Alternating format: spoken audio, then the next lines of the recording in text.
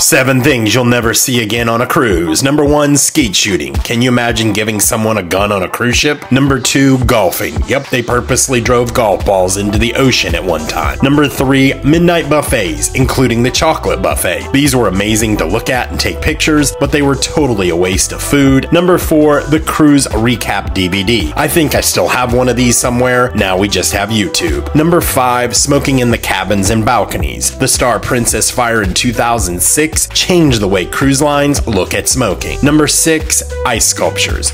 These used to happen daily and they were amazing. I remember them by the pool deck on Carnival and Princess. Number seven, topless sun decks. Those top decks on older ships used to have warnings that they were topless decks. Do you remember any of these? Subscribe for more cruise news and tips and tricks.